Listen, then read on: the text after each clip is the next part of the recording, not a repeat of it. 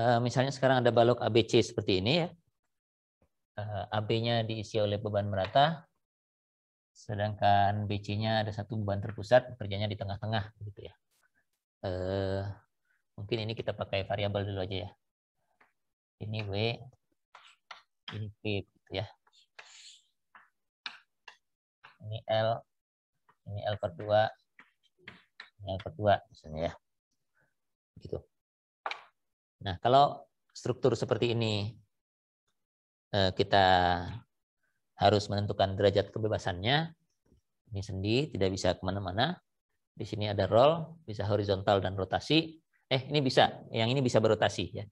Jadi ini ada D nomor satu di sini. Kemudian ini D nomor dua yang horizontal. D nomor tiga yang rotasi. D empatnya horizontal. D limanya rotasi ada lima derajat kebebasannya. Dan elemennya ada dua, B dan BC. Oke, setelah menetapkan lima derajat kebebasan itu, kita bisa langsung tulis vektor F besar, yang isinya berapa aja tuh kalau seperti itu. Dalam arah satu tidak ada momennya, ya nol. Arah sini juga tidak ada gaya yang bekerja di sini, nol lagi. Arah sini nggak ada momennya. Nol. Ini juga tidak ada. Jadi nol semua. F-nya kebetulan nol semua. Oke. Setelah itu eh, kita cari vektor gaya-gaya ujung dari tumpuan jepit tapi di elemen ya. Jadi di elemen AB ada ini dengan beban merata. Nah, ini sama dengan yang tadi ya. Kebetulan karena bebannya W, reaksinya adalah oh, derajat kebebasan elemennya belum digambar ya. Saya gambar dulu deh. Ini struktur kita punya dua derajat eh, dua elemen AB dan BC, masing-masing punya enam derajat kebebasan ya. Ini AB, derajat kebebasannya. Satu dua tiga. Oh ini empat.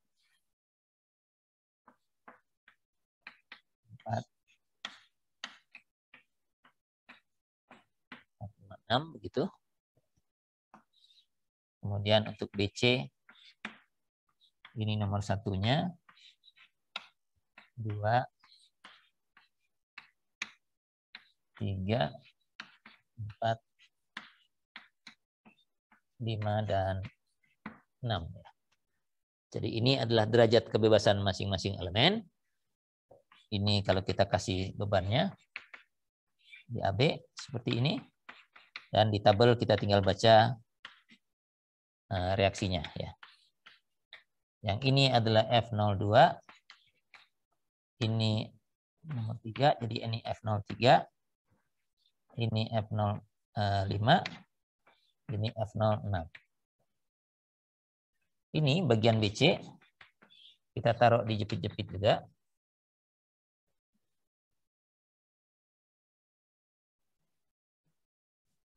Tapi bebannya hanya ada P satu di tengah-tengah. Dan kita baca di tabel juga akan ada reaksi vertikal dan momen. Ini juga ada reaksi vertikal dan momen seperti itu. Nah, ini kalau kita lihat elemen BC, ini juga F02. Ini F03. Ini F05. Dan ini F06 dari elemen BC. Jadi nanti kita setelah ini kita punya F0AB dan F0BC. Yang isinya bisa kita peroleh dari tabel.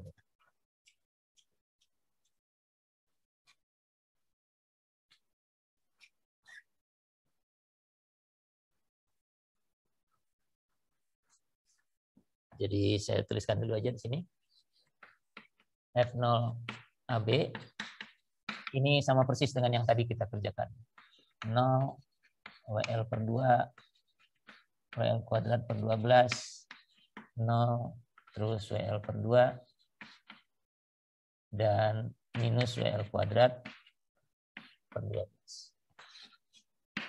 F0 AB-nya demikian. F0 BC untuk yang terpusat P ini F0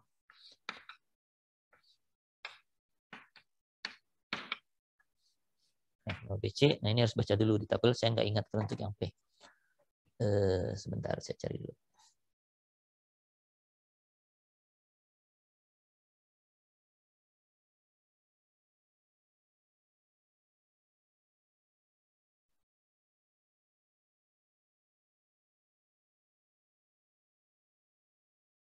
Reaksinya setengah-setengahnya ya. Jadi ini 0, ini P per 2. Nah, momen di kirinya itu adalah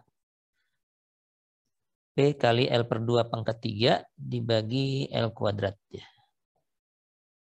Jadi P dikalikan L per 2 pangkat 3 dibagi L kuadrat. Jadi PL per 8 ya. Gitu. Oke, sananya minus ya. Oke, jadi sudah sudah bisa kita isi semua. 0 P per 2 PL per 8, kemudian 0 lagi, terus P per 2 minus PL per 8. Ini adalah F0 PC. Nah, kedua-duanya ini akan menyumbangkan ke vektor F0. Ya. Vektor F0 itu isinya ada ada lima ya, karena struktur kita punya lima derajat kebebasannya. Jadi ada lima nih isinya. Satu, dua, tiga, empat, lima. Ya. Belum kita isikan, disiapkan dulu saja tempatnya lima buah. Kemudian kita bandingkan nomor derajat kebebasan dari elemen AB dengan struktur di sini ya. AB itu punya 6 derajat kebebasan, kalau di bagian sini yang ada tuh cuma D1, D2, D3 ya, ada tiga ya. D1 itu sama dengan D3-nya elemen AB. Jadi F0 nomor 1 itu diambil dari AB yang nomor 3, yang ini WL kuadrat per 12.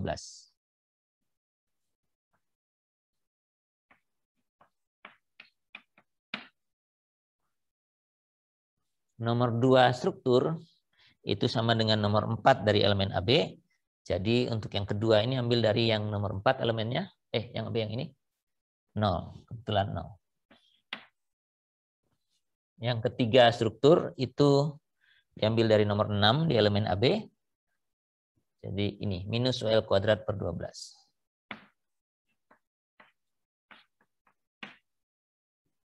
Nomor 4 dan 5 nggak ada hubungannya sama AB ya. 4 dan 5 itu adanya di ujung C, jadi AB nggak ikut-ikut. Ya sudah dari AB itu yang menyumbangkan cuma ini saja. WL kuadrat per 12 yang nomor 3 ini jadi nomor 1 di sini. 0 yang keempat ini jadi nomor 2 di sini. Dan minus WL kuadrat yang nomor 6 ini jadi nomor 3 di sini. Dua yang lainnya nggak, AB nggak ikut. Nah untuk BC, kita bandingkan elemen BC dengan bagian BC dari struktur ini. Nomor satu, derajat kebebasannya terpakai di nomor dua di sini. ya. Jadi F0 yang nomor satu ini menambahkan di yang nomor dua.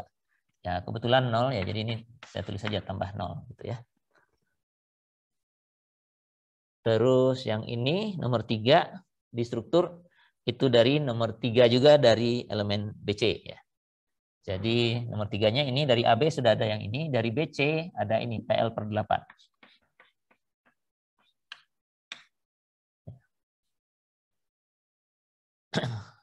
nomor 4 yang ujung kanan itu sama dengan nomor 4 dari elemen BC.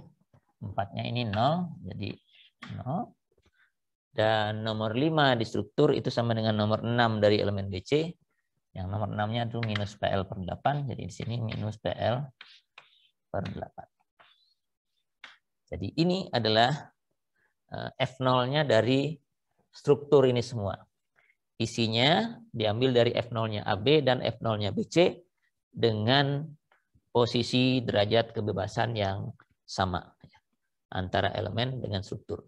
Yang tidak sama artinya tidak terpakai di struktur, ya tidak perlu masuk ke F0-nya uh, struktur ya. Tapi ini tetap terpakai nanti ya di persamaan keseimbangan elemen yang 6 ini dan yang 6 ini tetap dipakai. Oke, ini adalah derajat kebebasan eh vektor beban. Uh, selanjutnya matriks kekakuan juga demikian. Hmm, matriks kekakuannya lebih besar sekarang. Ini kita perlukan karena di, di tingkat elemen perlu. Jadi saya akan tuliskan di sini ya. Uh, ini ingatlah ya nanti pas terakhir diperlukan untuk keseimbangan elemen.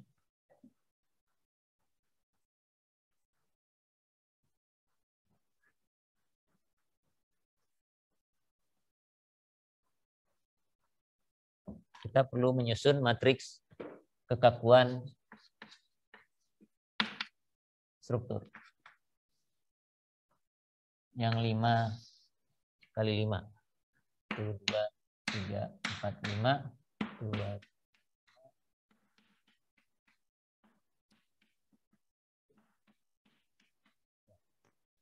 Mudah-mudahan muat ya karena akan disumbangkan oleh dua elemen sekarang ya. Jadi dari elemen satu atau kalau mau kita bacanya dari struktur juga bisa derajat kebebasan nomor satu dari struktur itu sama dengan derajat kebebasan nomor tiga dari elemen AB. Jadi satu-satu ini ambilnya dari tiga-tiganya AB. Tiga-tiganya ini 4 EI per L. 4 EI per L dari AB ya. Kebetulan atau kita anggap L-nya sama semua dulu, EI-nya juga sama semua, jadi kita nggak perlu nulis indeks ya. Kalau enggak, kita harus masukkan nilai yang punya AB. Itu satu-satu. Kita mengisi ke bawah, dua satu, dua itu mana? Dua itu horizontal, satu itu yang ini, jadi kalau 21 di AB itu nomornya 4 3. Ya. 4 3 di sini. 4 3 itu 2 3 4 1 2 3 0. 21 ya di sini. 0. 3 1 3 itu momen di sini, satu itu eh, rotasi di sini, satu itu rotasi di yang ujung yang satunya. Jadi itu 6 3 ya. 63 dari sini. 63 2 EI per L.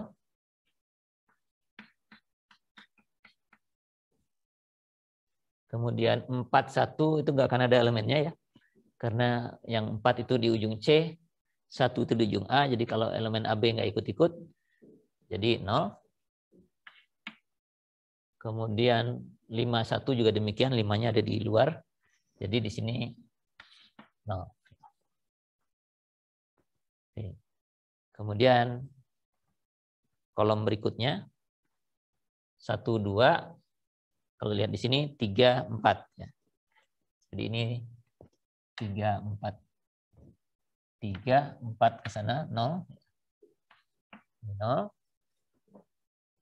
Uh, terus dua dua. Itu duanya ini kanan ke kanan. Jadi ini empat empat dari elemen oh Iya, kita ngambilnya AB dulu aja ya. 4, 4 ya. 4, 4 itu ini EA per L.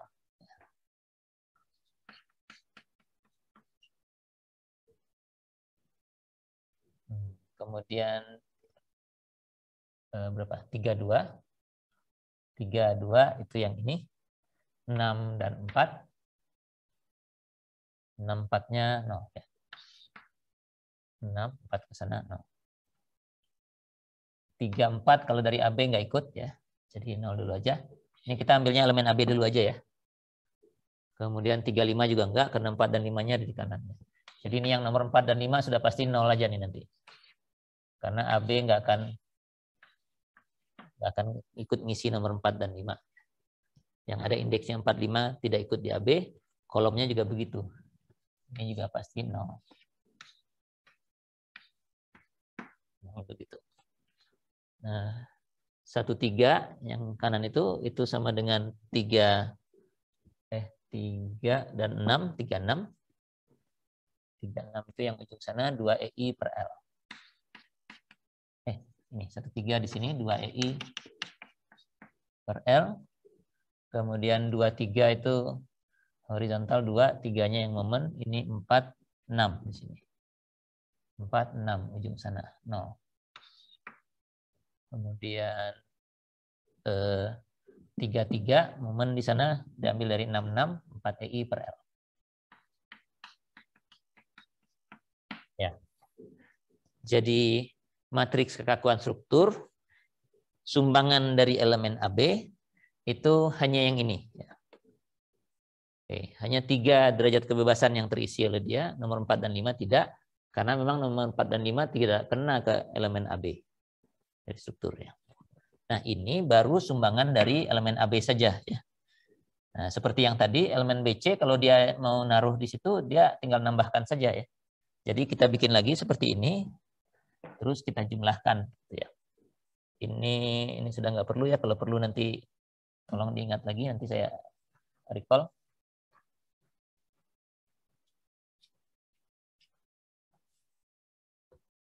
ini harus ditambahkan dengan satu lagi. Itu. Ini dari elemen AB, sekarang dari elemen BC. BC itu yang ini. Ya. Nomor derajat kebebasan ini dibandingkan dengan nomor derajat kebebasan struktur. Eh, satunya di ujung sini nggak ada urusan apa-apa dengan BC ya. Jadi BC tidak ikut-ikutan di nomor derajat kebebasan struktur yang nomor satu. Jadi yang ada indeks satunya pasti nol ini.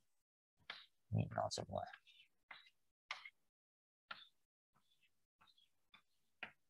Itu. Uh, duanya, dua itu ini B-nya ke kanan, jadi sama dengan satu dari elemen BC, sama dengan nomor derajat kebebasan yang pertama. Jadi D1 dari BC sama dengan D2 dari struktur. Jadi dua-dua ini ambil dari satu-satunya BC, EA per L. Dua, tiga, itu satu, tiga di BC, satu tiganya nol. Eh, ya itu du, ya itu dua tiga ya. Eh tiga dua ini sebenarnya. Ini satu dua dua dua tiga dua tiga dua itu dari BC itu nomornya tiga satu tiga satu yang ini nol. Kemudian empat dua empatnya di sini duanya di situ, jadi sama-sama aksial, diambil dari 4, 1 di sini. 4, 1 minus EA per L. Dan 5, 2 itu dari 6, 1. 6 satunya 0. Tuh. Kemudian nomor 3 rotasi ini kita ngisinya mulai dari nomor 23 dua tiga itu satu tiga di sini. satu tiga nol kemudian tiga tiga diambil dari tiga tiga juga sama-sama tiga. empat i per l.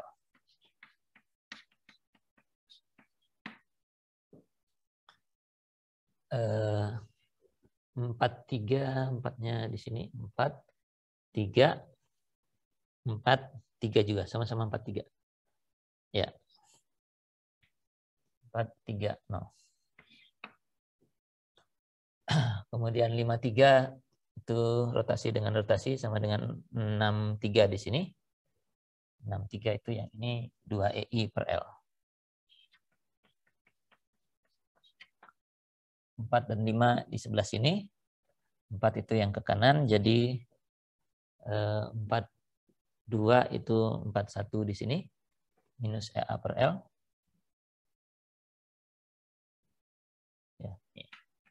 minus EA per L. 43 itu yang 43 juga dari sini. Yang isinya 0. 44 itu ini 44 juga. EA per L. dan 45 di sini 46 46-nya 0.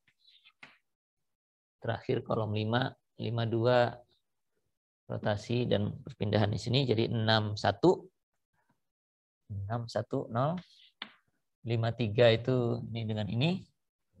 Di sini 63 63-nya 2i per L.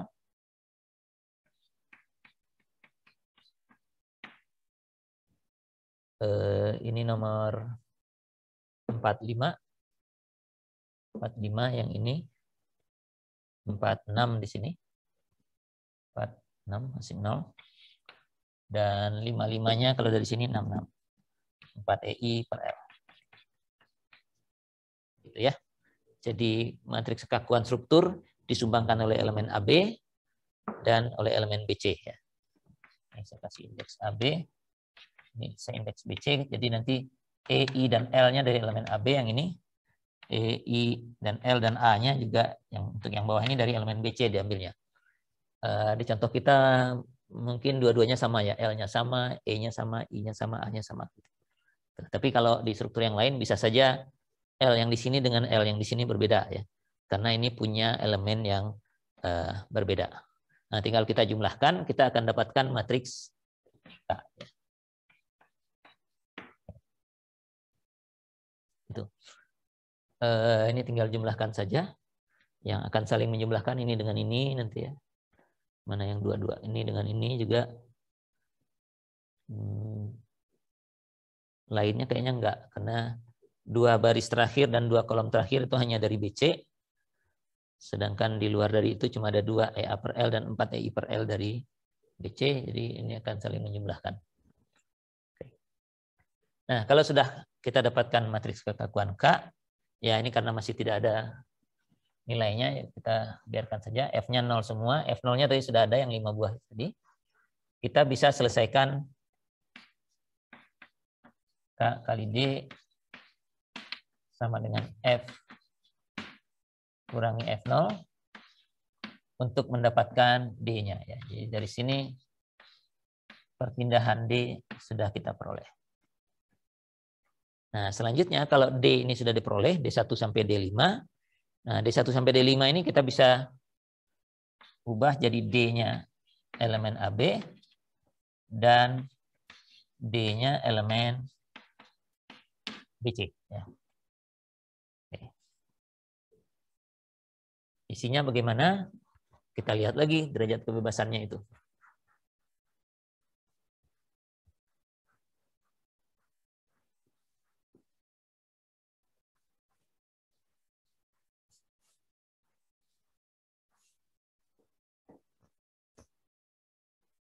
Jadi untuk DAB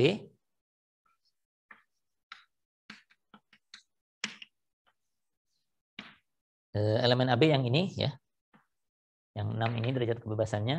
Kalau dilihat dari sini, yang kepakai itu cuma nomor 3 dari D1-nya struktur. ya. Jadi satu dan duanya nggak terpakai. Yang ketiganya dari D1 struktur. Yang keempatnya, yang ini, itu dari D2 struktur.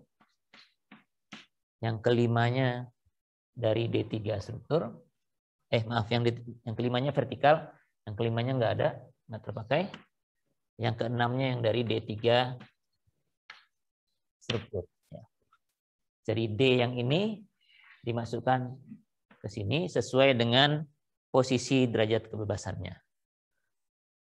Untuk elemen BC juga begitu.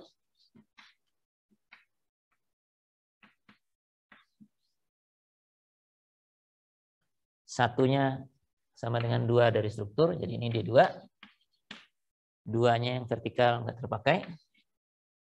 Tiganya itu sama dengan tiga dari struktur.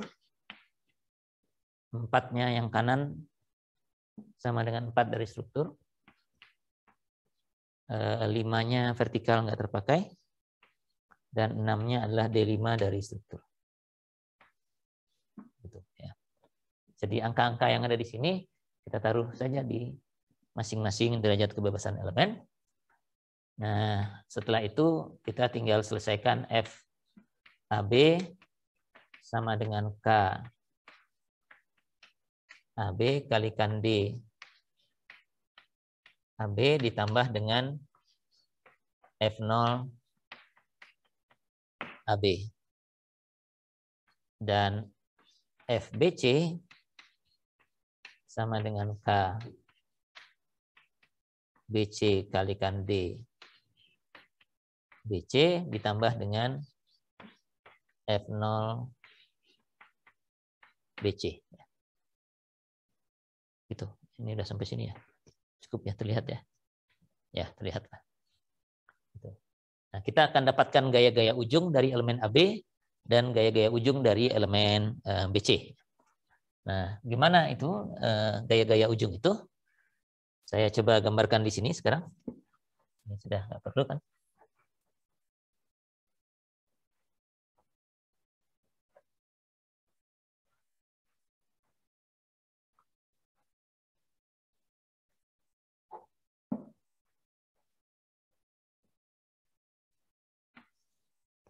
AB dan BC. AB nanti dari F itu kita akan dapatkan F1 yang di sini. F2. F3-nya. F4. F5 dan F6. Ini BC-nya saya geser, tidak bertumpuk. BC-nya juga akan punya gaya ujung F1 F2, F3, F4, F5, dan F6. Ya. Ini semua nilai-nilai F yang kita peroleh dari persamaan keseimbangan eh, elemen ini. Ya. Kita dapatkan di sini. Nah, kalau kita bandingkan ini dengan strukturnya, kita bisa lihat bahwa F1 itu adalah reaksi horizontal di A. F2 yang vertikal ini adalah reaksi vertikal di A. F3 karena A-nya sendi, F3-nya mesti 0. Ya. Kalau hitungan Anda benar, nanti F3 untuk elemen AB mestinya dapatnya 0. Seperti tadi di contoh kita tadi, yang sebelumnya. Ini ya, kalau tidak salah tadi ya. Nah, yang ini momen di sini F6-nya elemen AB tadi nol kan ya. Jadi nggak ada momen di sini karena memang tumpuan rollnya nggak ada momen. Ya. Jadi F3 ini mestinya nol nanti kalau hitungan Anda benar. Nah, F4 itu nggak ada reaksinya, ya ini gaya ujung aja ya. Gaya ujung kalau titik B itu kita potong di sini, persis sebelum tumpuan ini. F5 juga gaya ujung karena belum reaksi ya. Reaksi total nanti reaksi di B itu adalah F5 ini ditambah dengan F2-nya dari elemen BC. F6 juga gaya ujung di sini. Jadi ini seperti adalah momen yang kita peroleh kalau kita potong di situ ya, persis sebelum tumpuan. Ini juga gaya-gaya ujung yang kita peroleh kalau BC-nya kita potong persis sebelum uh, tumpuan ya. Sebentar uh, saya perlu mencolokkan listrik.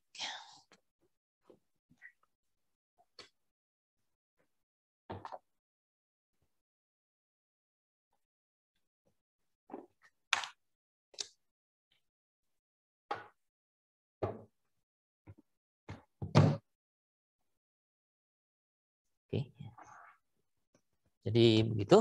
Ini gaya-gaya ujung yang diperoleh kalau kita potong di sini. Nah, yang ujung kanan, ujung C ini, itu adalah reaksi di roll yang F5-nya. F4-nya karena tidak ada gaya horizontal, harusnya F4 ini nanti 0. F6 ini juga harusnya 0 karena tidak ada momen di ujung C. Jadi hmm, prosesnya begitu ya. Mudah-mudahan dengan dua contoh ini Anda bisa mengerjakan metode kekakuan langsung untuk balok ya. Struktur kita saat ini baru balok saja ya. Struktur horizontal. Kalau untuk portal ada eh, perlakuan tambahan nanti. Oke, ada pertanyaan sampai di sini? Uh, ini sudah bisa dihapus ya. Matriks kekakuan elemen ini modal utama. Jadi setiap mau mengerjakan problem yang ini harus tersedia dulu. Kalau Anda memogram, Anda bisa bikin function dari MATLAB-nya, apa, matriks kekakuan dengan memasukkan E, A, I, dan L, kita dapatkan matriksnya langsung.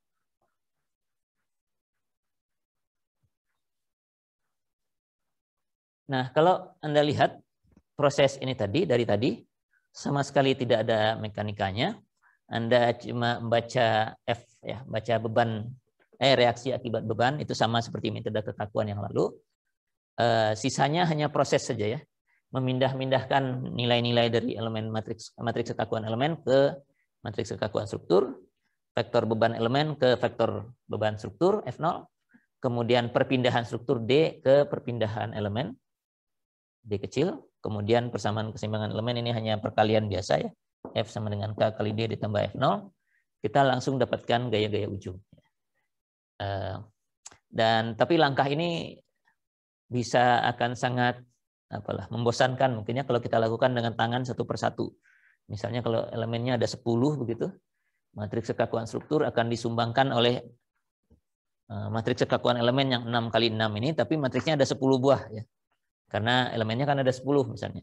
Jadi dari elemen pertama mana saja yang menyumbang ke struktur. Dari elemen kedua kemudian yang mana saja, ketiga, keempat dan seterusnya. Nah, itu kalau dilakukan dengan tangan sudah eh, akan sangat membosankan jelas itu dan eh, kemungkinan salahnya juga cukup besar ya.